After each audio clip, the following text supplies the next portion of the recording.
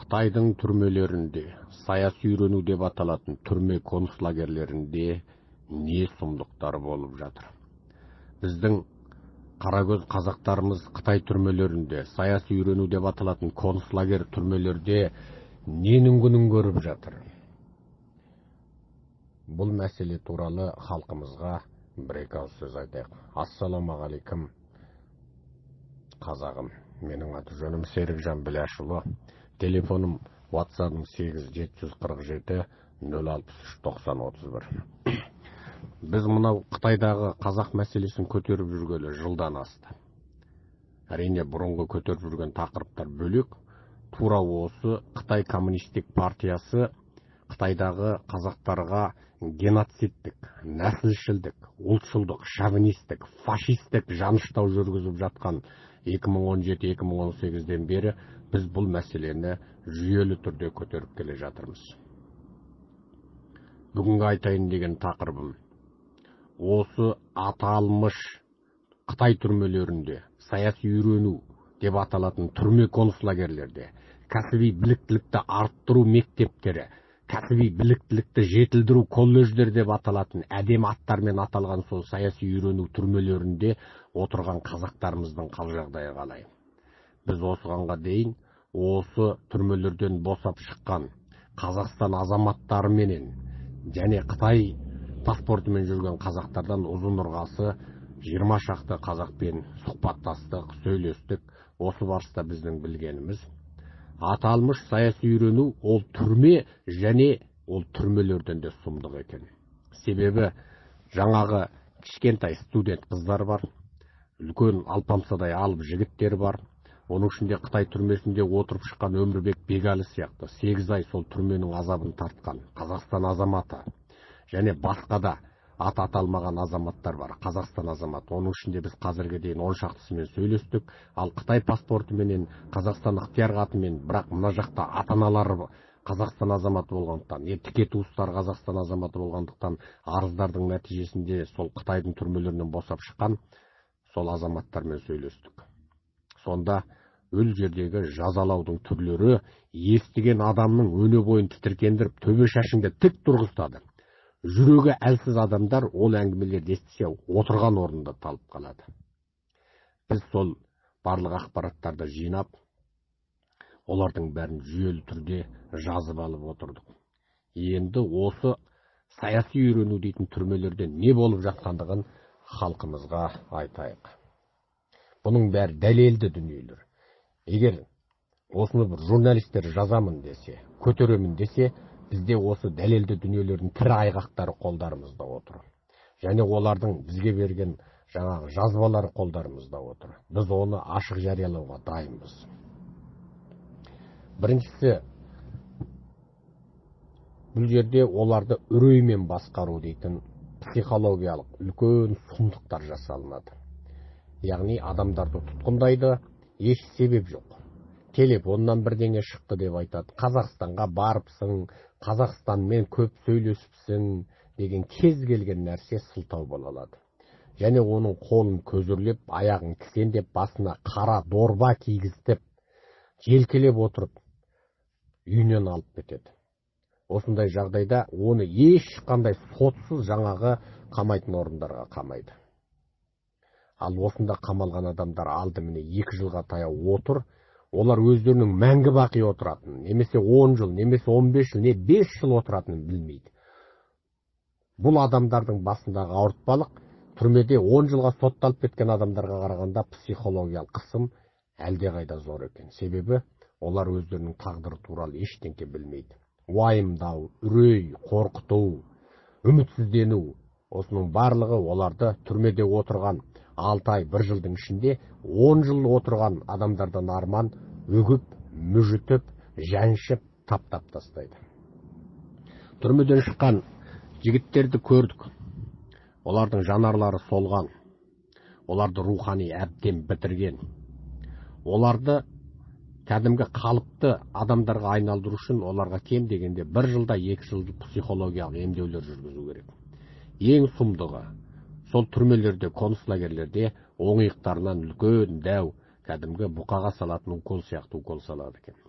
Екіншісі белгісіз таблетка дәрілерді. Зорлықты түрде ішкісі істеді екен.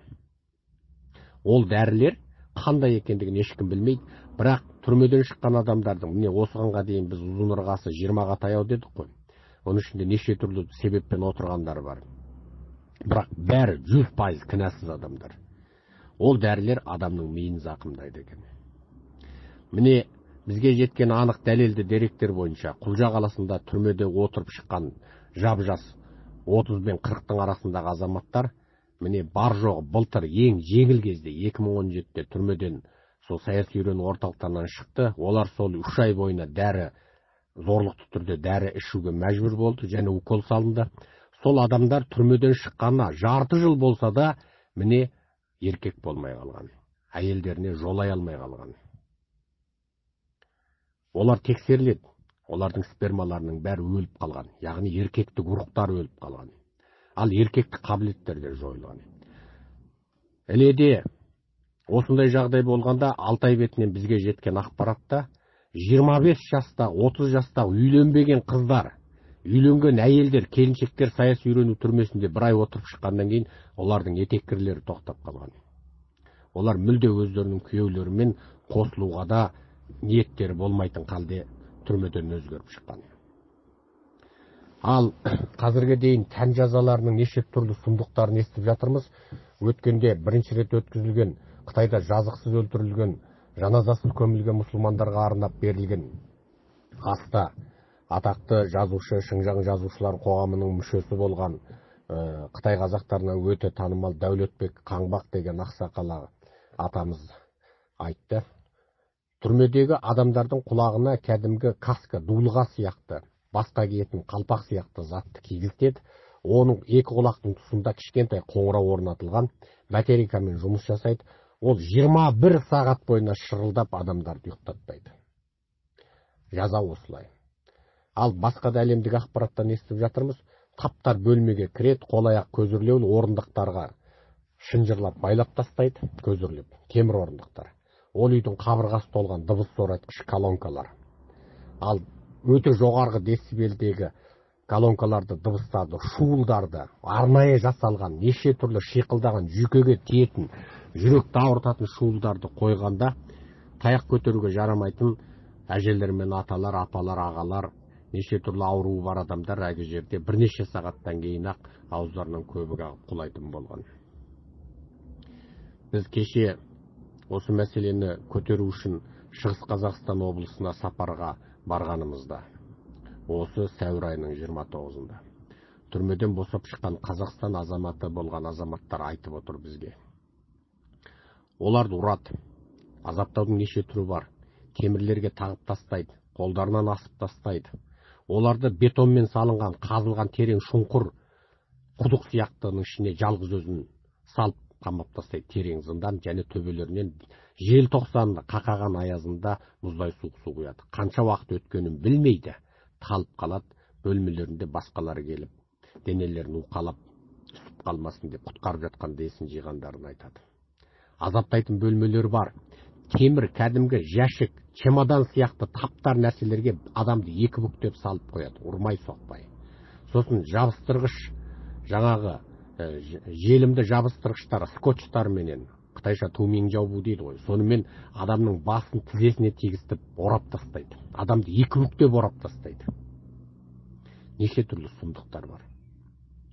Осындай сұмдықтарды естігенде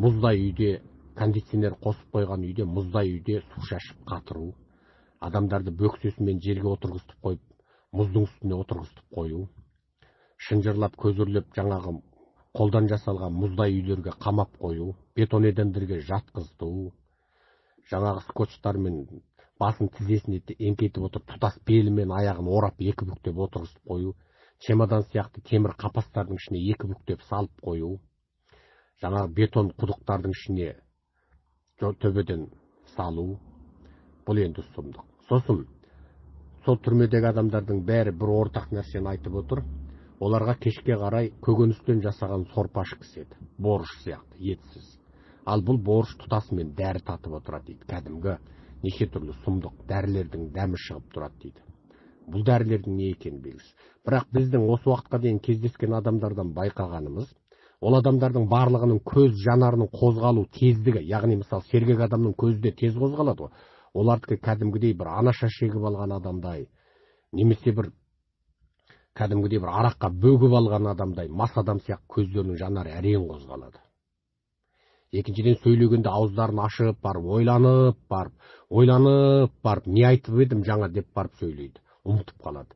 Мысалы бізге сол қытай түрмесінде отырған анар айнұр деген екі келіншектің сәлемін жеткізді. Олар жаңа тамақтануда ә, жаңа қытайдың компартияның әндерін үгіттерін еститін дәрісханаларға барғанда сыбырлап сөйлесіп қалған.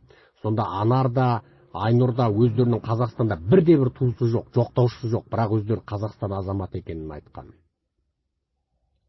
Біреу ажырасқан біреу үйленбеген қыз бірақ олардың фамилиясын ұмытып отыр. Енді оны қалай іздеуге болады? Тек қана ұлттық қауіпсіздік комитеті және кедендегі азаматтар бірлесіп қытайдан келген қазақтардың ішінде аты анар айнұр дегендер және олар бір жыл бұрын қытайға кеткен сонда түрмеде отыр. Соның бәрін анықтау керек.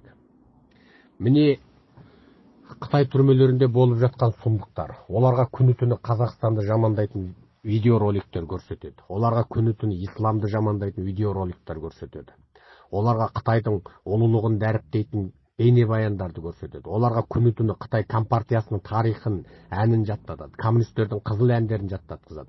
Оларға күні түні қысым. Оларға туыстарын айтып бопсалайды. Олар өмір бойы осында өтіп кетесіңдер дейді. Оларға тіпті біз керек десең сендердің елдеріңді кез келген уақытта жаулап аламыз деп үрей туғызады. Біздің тыңшыларымыз қазақстанда өріп жүр. Сен қазақстанға қайтқаннан кейін де аузыңды ашатын болсаң біздің тыңшыларымыз кез келген жерде сені өлтіріп кетеді деп үрей салған. Шын мәнінде олай емес. Ол жігіттерде қазір біздің ұлттық қауіпсіздіктің азаматтары олармен жұмыс жасауда. Бірақ бір нәрсе анық бауырлар. Қытайдың түрмесіндегі саяси үйрену сол түрмеде отырған бұрын қытайда неше түрлі жағдаймен он жыл жиырма жыл отырған сотталған жігіттер айтады екен. Біздің он жыл жиырма жыл отырған түрмеміз мынадан әлде қайда жақсы. Себебі далаға шығатынбыз жұмыс істейтінбіз кітап оқитынбыз ақпарат алатынбыз газеттер берілетін. Ал мынада қанша ай қанша жыл отыратының белгісіз тек қана үрей ішінде өтесің. Және тамақтары сондай нашар. Апалардың әжелердің шаштарын қиып тастаған. Түр, монша түгілі кәдімгі әжетхананың өзінде қарсы алдына камера қойылған. Әйелдердің өзіне. Әйелдер жалынған біз әйел затымыз ғой. Кем дегенде әжетханадағы камераны алып тастасаңдаршы дегенде бұл сендердің амандықтарың үшін деп сылтау көрсеткен. Енді бұдан да басқа сұмдықтар әйелдерге жасалынып жатқан зорлықтар оларға неше түрлі тәндік ұятына арна тиетін сұмдықтардың болып жатқанын бәріміз білеміз. Естіп жатырмыз. Бірақ қазақтарға жасалынып жатқан қиянаттарды естігенде төбе-шашымыз тік тұрады. Бұл біздің қытай түрмесінде қытайдың саяси үйренуінде не болып жатыр деген тақырыпта айтқан бірінші сөзіміз. Алда бұның жалғасын айтамыз. Бұны кем дегенде он лекция қылып халыққа бір бірден жеткіземіз. Себебі айғақтар дәлелдер біздің қолымызда. Біз ешқашан жұртты дүрліктірейік деп айтып жатқан жоқпыз. Өте сұмдық. Мен алпамсадай азамат осы уақытқа дейін өмірдің аштысында тұштысында көрген менің өзім жасымнан қырықтан асқанда осы оқиғаларды естіп отырып менің көзімді көзімнен аққан жас менің жүзімді жуды. Әрине менде кек бар менің зығырданым қайнайды. Мен ата бабаларымның ерлік тарихын жатқа білетін мен осы әңгімелерді естігенде менің жүрегім ашығанда удай ашыды. Көзімнен жас емес қан аққандай болды? Күйзелгенде екі бүйірім түсіп қалғандай солқылдады. Бордай үгітіліп кеттім артынан бетондай болып тастай болып қайтадан тірілдім.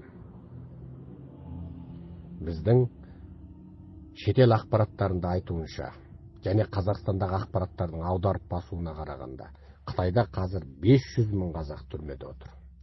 Жаңағы саяси үйрен дейтін түрмеде. Біздегі момын аңқау сенгіш аңғал қазақтар ол жай үйрену деп ойлайды. Жоқ ол түрме және түрмеден бетер. Ол жерден шыққан адамдар ешқашан қалыпты адам бола алмайды. Біздің халқымыздың басында осындай биологиялық геноцид жүріп жатыр. Білесіздер ақ нәсілді еуропалықтар америка құрлығын тапқаннан кейін ашқаннан кейін ол жерде неше түрлі темекі какао басқа да дақылдарды еккеннен кейін кен ашқаннан кейін африкадан қара зеңгілерді негрлерді тасыды солай.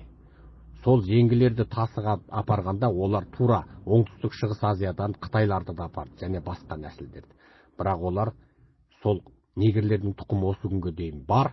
Бірақ бар болған америкада 10 пайыз жиырма пайыз әр елде әрқалай аз. Неге негрлер өспей қалды? Негізінде олар ақ нәсілді халықтардан он есе көп болды құлдар қытайлар тіпті ақ нәсілді халықтан екі үш есе көп болды. Олар қытайлардың бәріне кәдімгідей пішіп тастау операциясын жүргізді. Апарғандардың бәрі еркектер. Бірақ негрлерді жалғасты пайдалану үшін олардың үйленуіне бала сүюіне мүмкіндік берді. Бірақ мәлім бөлшегіне. Сол америка құрлығына барған миллиондаған қытайдан осы күнде тұқым қалған жоқ. Неге пішіп тастады? Геноцид деген осы тура сол сияқты. Бейне гитлер германиясы алты миллион еврейді домна пештерге өртеп сүйегінен сабын жасаған сияқты. Дәл қазіргі фашистік қытай режимі коммунистік қытай режимі қытайдағы үш миллион қазақты келер жылы осы уақытқа дейін домна пешке салып сүйегінен сабын жасаса ұлттық өнім қазақтың ұлттық өнімі деп сол сабынды қуана қуана тұтынып отыратын халге жететін сияқтымыз. Оян менің қазағым. Мен қытайға қарсы ракет ат деп тұрған жоқпын. Орныңнан тұр. Қазақ халқына қандай сұмдықтар жасап жатқанын біл әрбір қазақ. Көзіңді аш. Ол тек қытайдағы үш миллион қазаққа жасап жатқан геноцид емес. Олардың мақсаты қазақстан. Олар осы уақытқа дейін балқашқа дейін жер біздікі деді. Олар қазақстанды қалай жаулаудың жолдарын баяғыда жасап тастаған. Ютубтен қытайдың жұмсақ күші қытай қалай жауламақ деген лекцияларды тыңдаңыздар. Бұл мәселені мен жүйелі түрде айтып тастағанмын. Оян қазақ. Қазақ халқының басына осы 2017-2018-де тағы да ең ауыр күндер келді. Осы кезде ұлттың басына ең ауыр күн туғанда екі ақ түрлі адам бар айналайын қазақтар. Бірі ұлттың мүддесі жолында күресушілер екіншісі сатқындар. Үнсіз қалғандар қалыс қалғандар бейтарап қалғандар бұлардың бәрі сатқындардың есебінен. Оян алаш баласы менің аты жөнім серікжан біләшұлы телефон және ватсабым сегіз жеті жүз қырық жеті нөл алпыс үш тоқсан отыз бір. Алда біздің бұл лекциямыз жалғасын табады. Біз әр қазақ менің жалғызым дейтін қазақпыз. Біз қазақтың табанына кірген шөгір менің маңдайыма кірсін дейтін қазақпыз. Біз ойда орысым қырда қытайым аман болсын ортасында қазақ аман болсын дейтін қазақтың тұқымымыз. Біз бейбітшілікті сүюшілерміз біз тек жазықсыздан кінәсіздан қытайдың тепкісінде қыл бұрауда шыңғырған қазақтың мұңын халыққа жеткізушіміз. Қытайдың түрмелерінде саяси үйрену деп аталатын түрме концлагерлерінде не сұмдықтар болып жатыр? Біздің қарагөз қазақтарымыз қытай түрмелерінде саяси үйрену деп аталатын концлагер түрмелерде ненің күнін көріп жатыр? Бұл мәселе туралы халқымызға бір екі ауыз сөз айтайық. Ассалаумағалейкум қазағым. Менің аты жөнім серікжан біләшұлы. Телефоным ватсабым сегіз жеті жүз қырық жеті нөл алпыс үш тоқсан отыз бір.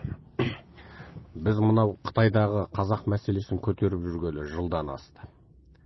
Әрине бұрынғы көтеріп жүрген тақырыптар бөлек